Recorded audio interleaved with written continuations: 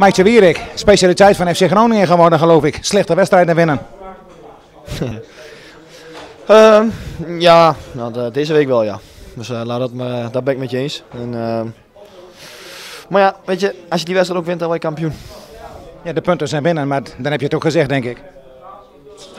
Ja, kijk, eh laat hem vooropstellen dat wij ook niet tevreden zijn. Zeker niet. eh, kijk, dinsdag vond ik het verdedigend niet goed en, en aan de bal ook niet. Eh, vandaag was het verdedigend wel weer redelijk, denk ik. Was niet, eh, niet top, niet zo goed als de week hiervoor. Alleen, ehm, de eerste helft wel. ja, nee, maar we hebben de hele wedstrijd niet zoveel weggegeven. Kijk, nog steeds niet, dus dat, daar ligt het probleem ook niet. Alleen we zijn zo slecht, eh, sl- slecht, ja, slecht op dit moment aan de bal. We zijn zo de bal weer kwijt. En, ik moet zeggen, de eerste helft kwamen we nog wel van achter naar het middenveld toe. En, maar ja, we, we creëerden niks. En, slordig, ehm veldbezetting niet goed. En, eh, ja, weet je, dan blijf aan één kant eh, hangen terwijl je de bal even uit aan de andere kant. Dus ben speel je kapot.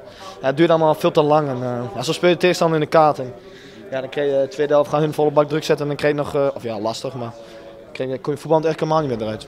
Ja, maar als jullie gingen druk zetten op de verdediging van Excelsior, dan kwamen zij in de problemen.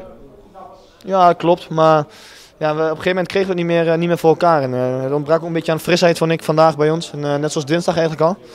Ehm, ja, dan kreeg je Terwijl jullie een dag lange rust hebben gehad, hè? ja, klopt. Maar we hebben heel veel jeugdinternationals ook. En een paar A-internationals die natuurlijk veel wedstrijden hebben gespeeld. Gewoon door hebben gespeeld. Nog meer extra wedstrijden. En eh, ja, weet je, dan, eh, dan hakt het toch in. De opbouw bij jullie is ook heel matig naar voren toe. Ja, ik denk dat we de eerste helft van achterin naar voren, naar voren op het middenveld, dat dat, dat, dat best goed ging. Ehm, dat je gewoon de middenveld in kon spelen. Alleen ik vind op dat moment verliezen wij gewoon te vaak de bal. En eh, wij, wij komen niet naar voren toe.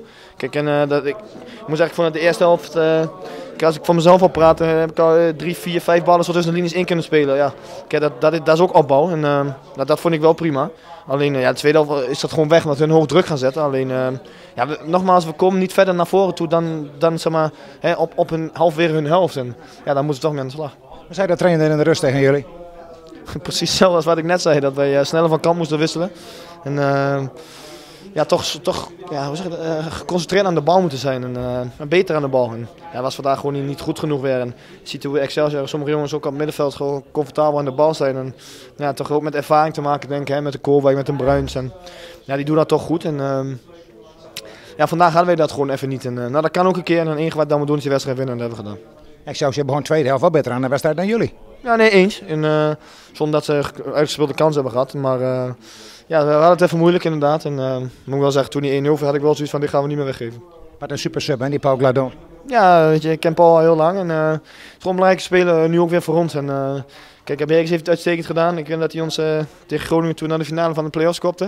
En, of in ieder geval naar de verlenging. En toen maakten we in de verlenging maakten we met Herkens, eh de wonnen van Groningen. En, ja, weet je, hij is gewoon een goede speler. Hij werd niet voor niks voor een aantal miljoen naar Engeland getransfereerd. En, ja, het is gewoon lekker om eh, ja, nu, nu dit geval als jongen achter de hand te hebben. En, eh, het is ten eerste een goede gast en het is ook gewoon een prima speler. Dus eh, dat is het belangrijkste. 41 punten op dit moment. Ja, waar eindigt dit voor FC Groningen dit seizoen? Ja, weet je, we moeten nog eh, vijf wedstrijden als ik het goed heb. En eh, er, zijn nog, er valt nog een hele hoop te winnen. En, eh, ik hoop dat we ook beter, beter gaan voetballen. En eh, ja, dan gaan we gewoon stappen maken. En daar ben ik van overtuigd dat wij eh, nog veel punten kunnen pakken.